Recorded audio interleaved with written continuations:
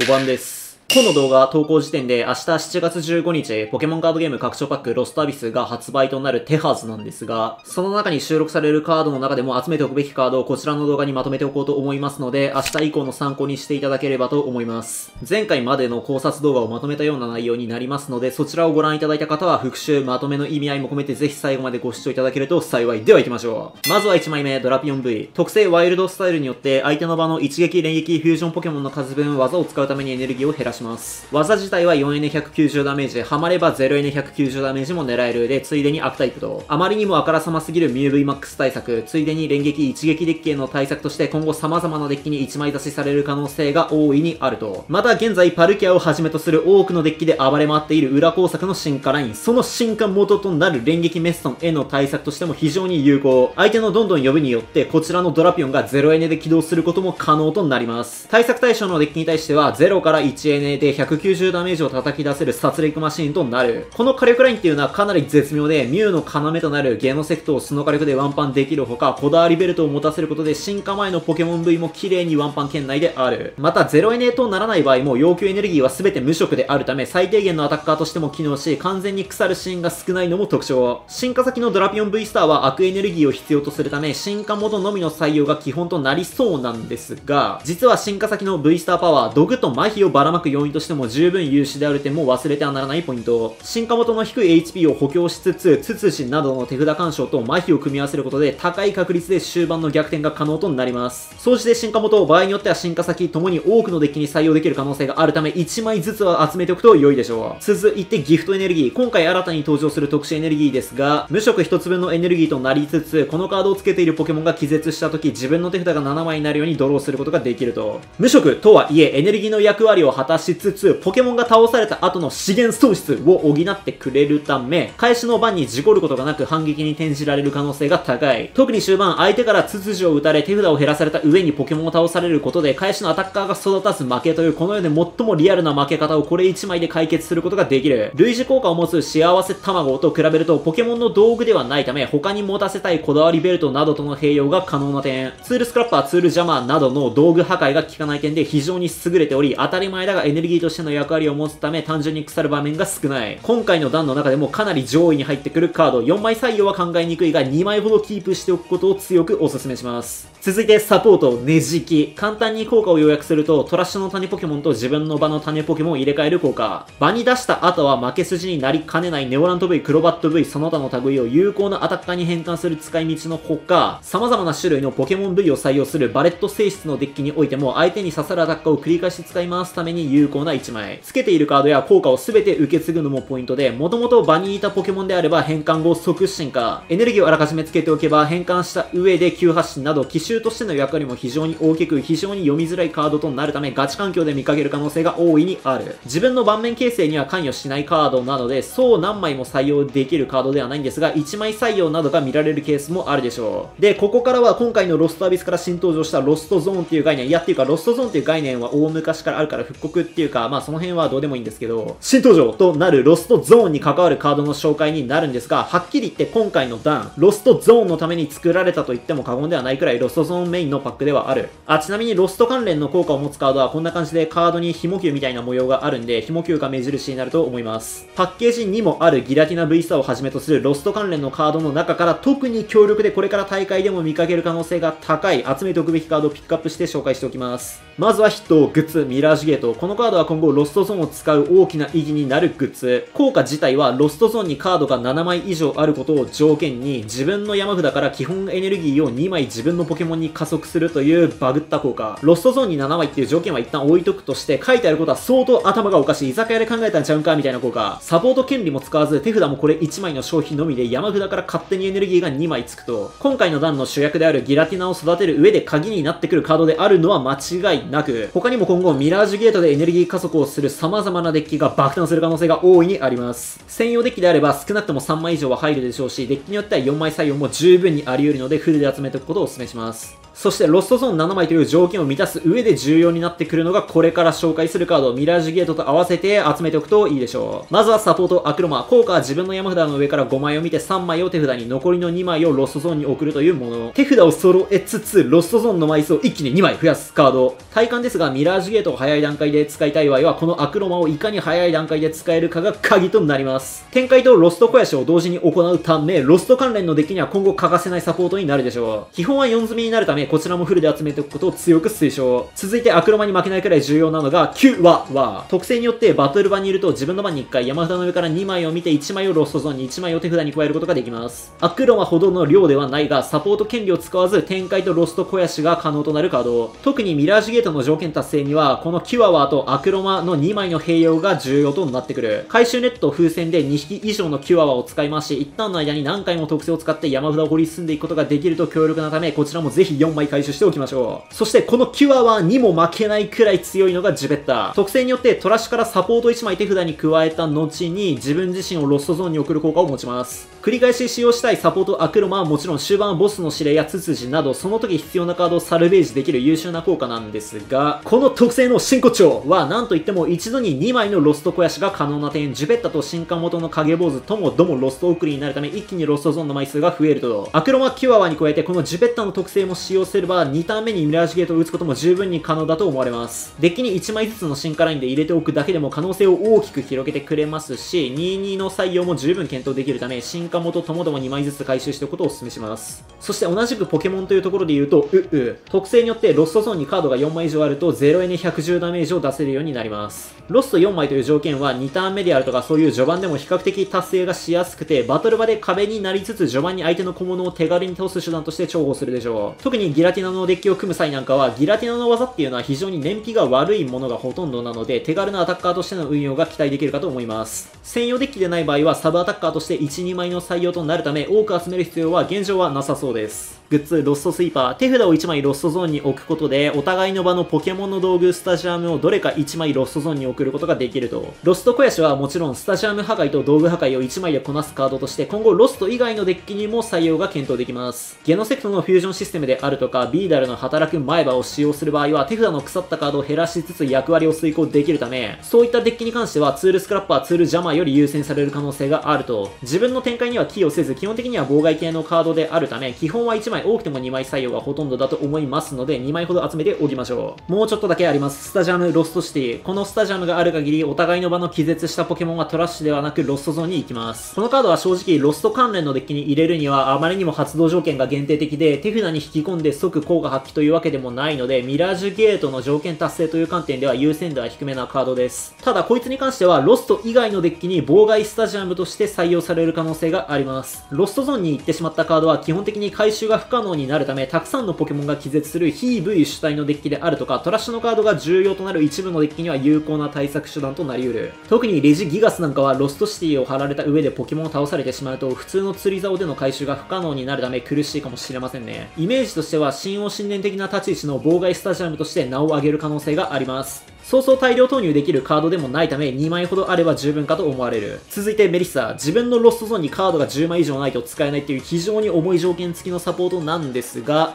次の相手の番自分のポケモン全員が相手のポケモン V から受けるダメージをマイナス120すると、前半は間違いなく腐る上に自分の展開にも寄与しない限定的なカードなんですが、決まれば高確率で一旦の猶予が生まれるカード。ロストゾーンを一気に肥やしつつ、トラッシュのサポートを回収するジュペッタとの相性は非常に良好。余裕があればぜひ1枚採用しておきたいカード。このカードは1枚あればまあ十分かなと思いますね。で、本日紹介するカードとしてはラストになります。パッケージにもあるギラティナ V スター、ギラティナ V の進化ライン。テキストはちょっと長いんで省略しますが、このカードの魅力はなんといってもロストインパクト280という素で驚異の火力を出す点こだわりベルトも必要とせずパルキアアルセウスといった環境のキングたちを簡単に打ち取ることができますこれまでに紹介したロスト関連のカードを主にミラージュゲートで育ててロストインパクトを連発する動きが本当に強力終盤にはエネルギーロストなしのスターレクイエムでの一撃必殺も可能。また、進化元のギラティナ V は後攻からでも使えるロスト肥やしと手札補充の技。相手の効果を計算しない技、引き策を所持しており、ミルタンクなどの特性で積む心配がない点もポイント。現在は一般的にパルキアのデッキが最強とされていますが、個人の感覚ではそれらにも十分勝ち得るスペックをギラティナは持ち合わせており、発売後大会で活躍する可能性は大いにあると思います。っていうか、大型弾のパッケージのポケモンって遅かれ早かれどこかで環境に食い込んでくる性能をしてる場合がほとんどなんで、まあどうせこいつも強いと思います。はい。